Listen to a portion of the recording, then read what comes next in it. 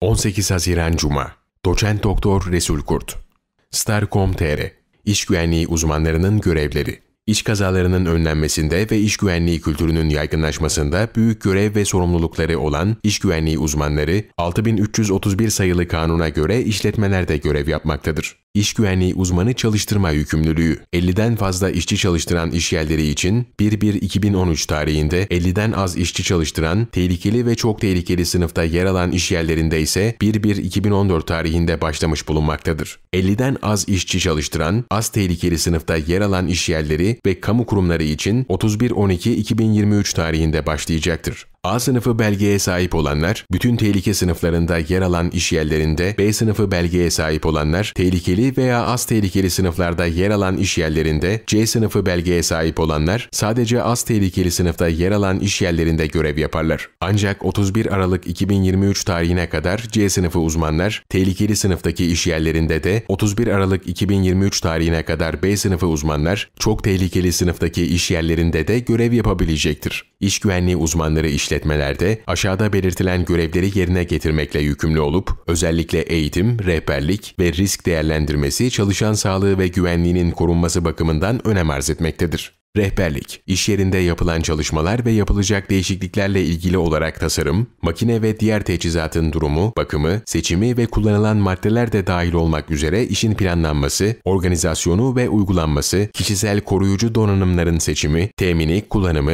bakımı, muhafazası ve test edilmesi konularının iş sağlığı ve güvenliği mevzuatına ve genel iş güvenliği kurallarına uygun olarak sürdürülmesini sağlamak için işverene önerilerde bulunmak, iş sağlığı ve güvenliği ile ilgili alınması gereken gereken tedbirleri işverene yazılı olarak bildirmek, iş yerinde meydana gelen iş kazası ve meslek hastalıklarının nedenlerinin araştırılması ve tekrarlanmaması için alınacak önlemler konusunda çalışmalar yaparak işverene önerilerde bulunmak, iş yerinde meydana gelen ancak ölüm ya da yaralanmaya neden olmayan, ancak çalışana, ekipmana veya iş yerine zarar verme potansiyeli olan olayların nedenlerinin araştırılması konusunda çalışma yapmak ve işverene önerilerde bulunmak. Risk değerlendirmesi, iş sağlığı ve güvenliği yönünden risk değerlendirmesi yapılmasıyla ilgili çalışmalara ve uygulanmasına katılmak, risk değerlendirmesi sonucunda alınması gereken sağlık ve güvenlik önlemleri konusunda işverene önerilerde bulunmak ve takibini yapmak, Çalışma ortamı gözetimi. Çalışma ortamının gözetiminin yapılması, iş yerinde iş sağlığı ve güvenliği mevzuatı gereği yapılması gereken periyodik bakım, kontrol ve ölçümleri planlamak ve uygulamalarını kontrol etmek, iş yerinde kaza, yangın veya patlamaların önlenmesi için yapılan çalışmalara katılmak, bu konuda işverene önerilerde bulunmak, uygulamaları takip etmek, doğal afet, kaza, yangın veya patlama gibi durumlar için acil durum planlarının hazırlanması çalışmalarına katılmak, bu konuyla ilgili periyodik eğitimlerin ve tatbikatların yapılmasını ve acil durum planı doğrultusunda hareket edilmesini izlemek ve kontrol etmek, çalışanların iş sağlığı ve güvenliği eğitimlerinin ilgili mevzuata uygun olarak planlanması konusunda çalışma yaparak işverenin onayına sunmak ve uygulamalarını yapmak veya kontrol etmek,